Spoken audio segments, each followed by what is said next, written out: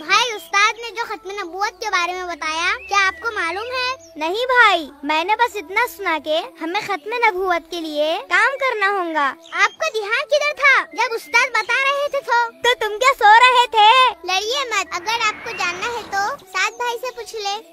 अरे हाँ। चले।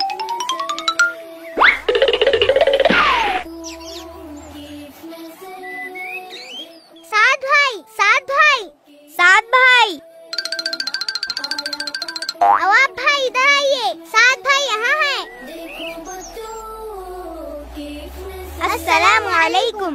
वालेकुम अस्सलाम। क्यों भाई? आप हमें वहीं छोड़ आए? सॉरी भाई, हमें आपसे कुछ पूछना था। कहिए, क्या जानना है आपको? भाई, ये खत्म नबूवत क्या है?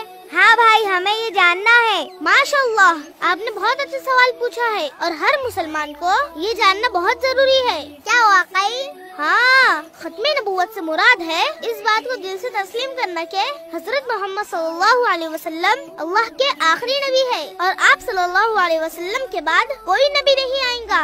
हाँ भाई, बेशक आप सल्लल्लाहु अलैहि वसल्लम आखिरी नबी है। ये तो हर मुसलमान को पता है।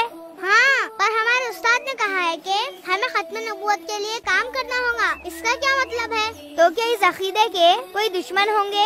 हाँ बिल्कुल। आप सल्लल्लाहु अलैहि वसल्लम ने इन दुश्मनों के बारे में फरमाया, मेरी उम्मत में तीस झूठे पैदा होंगे, जो नबी होने का दावा करेंगे। क्या? भाई क्या आप सल्लल्लाहु अलैहि वसल्लम के बाद कोई नबी आ सकते हैं? हरगिज नहीं। आप सल्लल्लाहु अलैहि वसल्लम का इरशाद है। ला नबी ये बादी। मेरे बाद कोई नबी नहीं। और कुरान की तकरीबन 100 आयत अकीदा खत्म नबूवत पर दलालत करती है। फिर भाई ये झूठे लोग किस तरह ये दावा कर सकते हैं? ये वो बदबख्त लोग हैं जो चंद दुनियावी ख्वाहिशात के लिए झूठे दावे करते हैं। वो कौन है भाई? ये झूठे लोग मुस्लिमा असवदुंसी बहरुल्ला मिर्ज़ा गुलाम अहमद कादियानी सिद्दीक दीनदार शकील बिन हनीफ फैयाज बाबा और भी कुछ लोग हैं और इनके मानने वाले काफिर है। अस्तगफिरुल्लाह। उस्ताद ने सही कहा था। हमें खत्म नबूवत के लिए काम करना होगा। हाँ भाई।